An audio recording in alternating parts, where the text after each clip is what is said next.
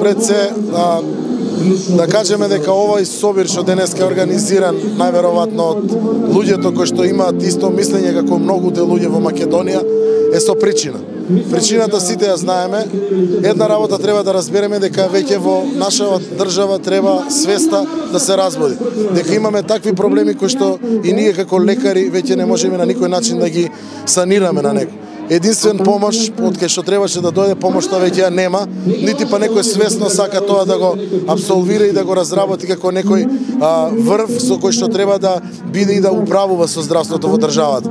А, очигледно дека тие луѓе кои што воопшто немаат никаква свест и кои што не сакаат да помогнат на таа фела која што лекува и која што помага на овој народ, не ни треба да бидат на тие места на кои што се. Што мислите, дали ќе се разреши ова со смената само на министерот? Јас мислам дека тоа би било еден добар почеток за решување на некој нешто. Сепак треба да се разбере дека ако почне кулата да се руши, ќе се руши од тој моментот кај што ќе треба да се трне. Тој момент е сега да се даде оставка од тие луѓе кои што се во таа фотеља.